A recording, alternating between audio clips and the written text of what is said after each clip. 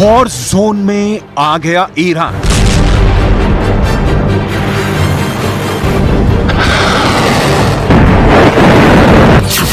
Israel पर पहली missile launch.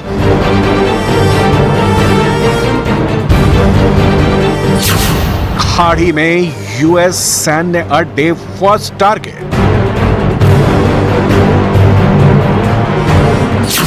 शहाब थ्री से दहलेगा इसराइल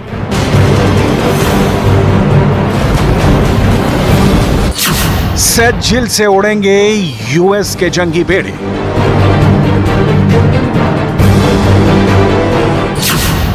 ईरान इसराइल टक्कर, ट्रंप लाएँगे बड़ा ट्विस्ट।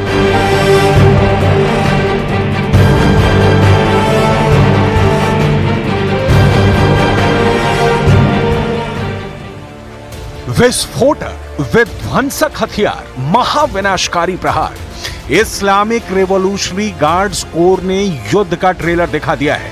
समंदर में ईरान अपने दुश्मनों को मुँह तोड़ जवाब देने उतर गया है।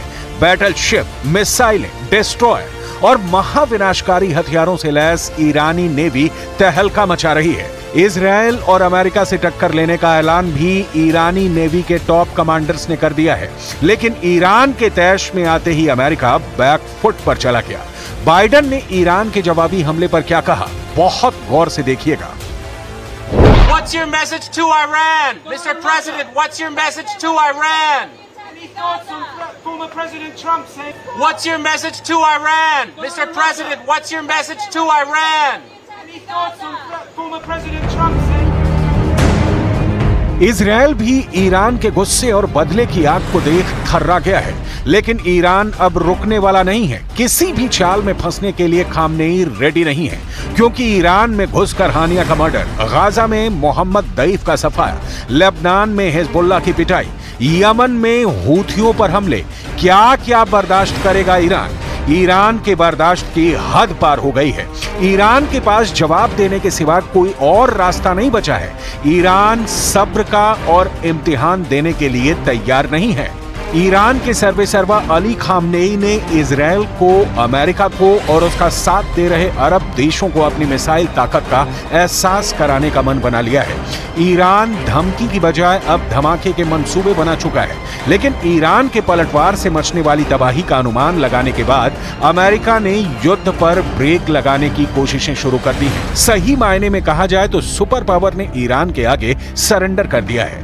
प्रेसिडेंट जो बाइडन का ये बयान फिर सुनिए। सिर्फ़ एक शब्द में उनका खौफ ज़ाहिर हो रहा है। ईरान को जब से रूस से हथियार और सपोर्ट मिला है, तब से ईरान अटैकिंग मोड में है।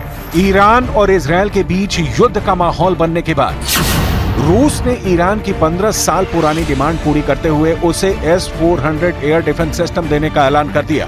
एस 400 दुनिया का सबसे advance anti air defence system है S 400 air defence missile system आसमान से घात लगाकर हुए हमलावर मिसाइल को पल भर में राख कर देता है। एस 400 से ईरान आसपास के बड़े इलाके पर नज़र रख पाएगा। एस 400 की सबसे खास बात यह है कि इसे कहीं भी मूव करना आसान है। एस 400 को नेटो द्वारा S A twenty one long range defence missile system कहा जाता है। पुतिन का बाहुबली कहा जाने वाला S four hundred minus seventy degree तक तापमान में काम करने में सक्षम है। रूस के साथ पाकिस्तान भी ईरान के सपोर्ट में उसे शाहीन थ्री मिसाइल देने की प्लानिंग कर चुका है। शाहीन थ्री पाकिस्तान की सबसे खतरनाक मिसाइल है। उन्नीस दशमलव तीन मीटर लंबी इस मिसाइल की रेंज दो हज़ार सात सौ पचास किलोमीटर है। यानी इसराइल क्या? उसके आसपास के अमेरिकी सैन्य अड्डे भी ईरान की रेंज में होंगे।